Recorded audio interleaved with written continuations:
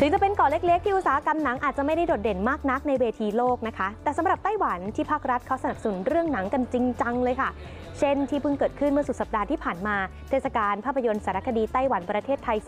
2019 เดินทางมาเป็นปีที่ 2 แล้วนะคะ จากการสนับสนุนของ Ministry of Culture of Taiwan ไต้หวัน Film Institute ไต้หวัน Docs New Taipei City Government และอีกหลายองค์กรค่ะ ทั้งหมดก็เพื่อส่งให้หนังไต้หวันไปได้ไกลในต่างประเทศมากขึ้น โดยเฉพาะกับสารคดี ซึ่งระยะหลังเติบโตมากนะคะ มีผู้สร้างเกือบร้อยเรื่องต่อปีค่ะ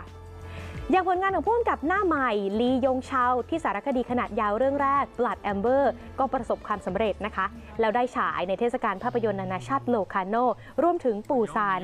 รวมถึงเฉวียนหมาเหอ ผลงานสารคดีชื่อดังของเขาก็ได้ทุนสนับสนุนจาก PTS สถานีโทรทัศน์ของไต้หวันด้วยค่ะ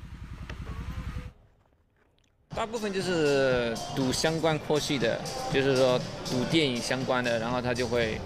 呃写。 ลียงเชาเล่าว่าตอนนี้คนรุ่นใหม่ให้ความสนใจกับการทำสารคดีมากขึ้นนะคะ จนแต่ละปีเนี่ยมีผลงานนักศึกษาและของผู้สร้างมืออาชีพ ผลิตออกมามากกว่า 80 เรื่อง บางเรื่องได้เข้าฉายทั่วทั้งเกาะไต้หวันทำอะไรายได้เป็นเกาะเป็นกำไปมากกว่า 1 ล้านดอลลาร์ไต้หวันค่ะ